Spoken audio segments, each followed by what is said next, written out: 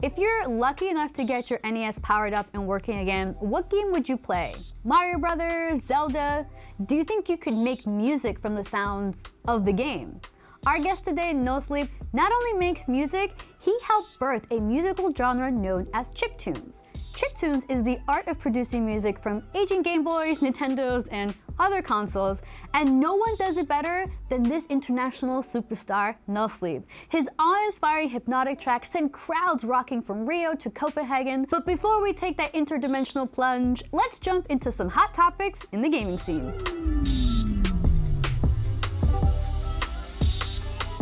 What's up guys, this is a download where we give you the updates on what's going on in gaming. OnePlus has dropped their new gaming triggers for Android and iOS phones that are now available in India. They're interchangeable and can be applied any way you prefer to play. Apex Legend Mobile is currently in beta and has been made available to a few thousand players in India and the Philippines.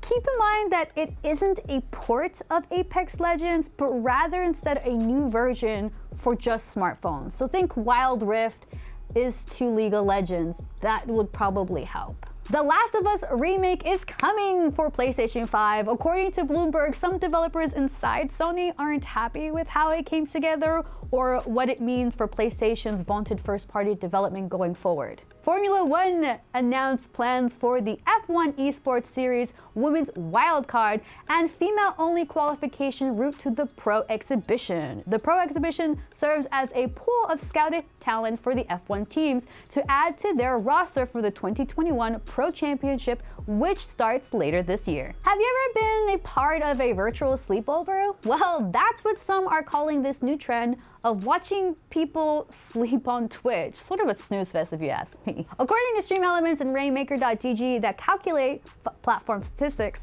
viewers on Twitch watched over 2 million hours of sleeping streams in March. I am absolutely in the wrong business. What am I doing here? I need to go sleep. Nullsleep blends familiar with the extraordinary to blow your face off with music built from aging consumer electronics like the ones you see in front of me, but his shows are exhilarating and inspiring, leaving you an elusive feeling that you want to recapture over and over again. I am so excited to have this intergalactic genius on this show. Nullsleep, welcome to the Power Up. Thank you so much for joining me. Thank you. I'm excited to be here. Was there any like video game soundtrack that inspired you to make music or this was just kind of like you were like I just want to make my own? The Streets of Rage games, um, I think this the the music in those was particularly, uh, you know, made an impact. And then along with that, I think um, some of the arcade um, shooter shoot 'em ups, um, games like Dodonpachi, Daioujou, and Ketsui, um, that were, I think both of those soundtracks were composed by Manabu Namiki. He, his stuff is just amazing, just in terms of the energy and the sort of tension that it builds. Now, for people that are watching this for the first time and they're like, we're like just talking about chiptunes because we know chiptunes, but for people yeah. who have no idea what even, what is chip? What is chip music? What is chip tunes? Yeah. And how do you think you've expanded that out form, that art form from like then and now? In the way that I make it, it is using uh, old video game hardware or old computers and the sound chips that were in those um, machines. So what we're doing is essentially saying a Game Boy is not just for, for playing video games. A Game Boy is a computer that can run any software you want on it.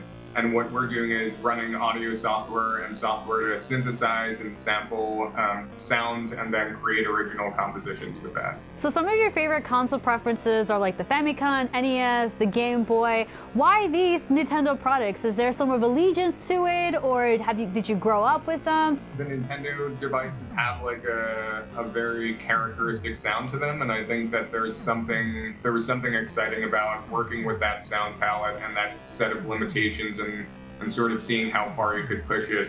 Now, we're at part of the interview where we're gonna play a little game, Nullsleep. Are you ready for this? Sure. All right, we're gonna play a game. It's called Fact or Fiction. I'm gonna say a okay. statement, and you have to tell me whether it is a fact or it is a fiction. You ready to play?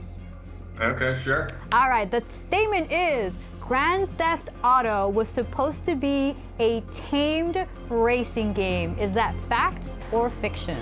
I'm gonna guess fiction. Well, it is fact, actually. There, okay. During a test run, a glitch made the police cars attack the player. So it was so well received that the developers actually scraped the original concept and they rebuilt the, rebuilt the game around the high-speed oh, police nice. chase. Yeah. Well, thank you so much, Nullsleep, for tuning in and showing up to the Power Up. I wish you the best of luck in 2021. Thanks so much. Next time you see a Game Boy at a garage sale or happen to come across a Nintendo 64 at the flea market, don't just look at it and think of the games you can play. Imagine the Sonic capabilities. Remember, one woman's garbage is definitely another woman's treasure. I'll see you on the next time on the Power Up. Happy trails!